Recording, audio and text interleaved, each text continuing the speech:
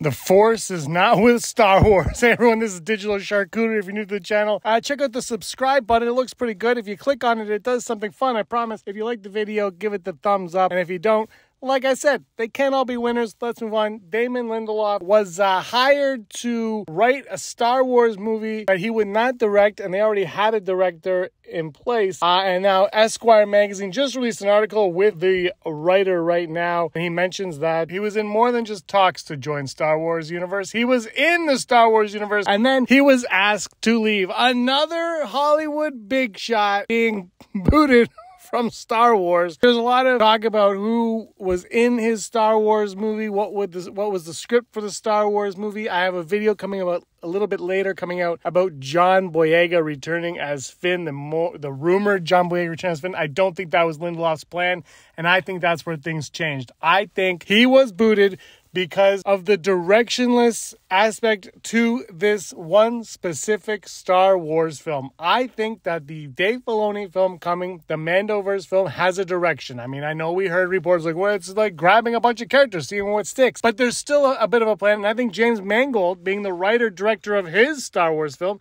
is going to have more of a control on what's going on there. But this one just feels like, oh, let's do a movie with Rey and a new Jedi Order. And they're throwing things at the wall and seeing what sticks. They have a director, but I still believe the Star Wars look comes from George Lucas, right? George Lucas's vision. George Lucas wrote and directed Star Wars. And then he kind of wrote the next one, and then the next one. Then he wrote all the prequels and directed all the prequels.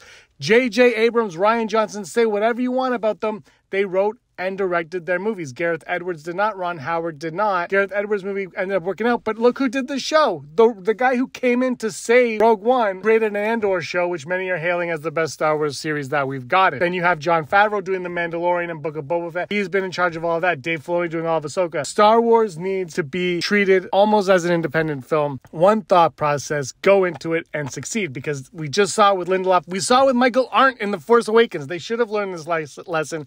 They did not.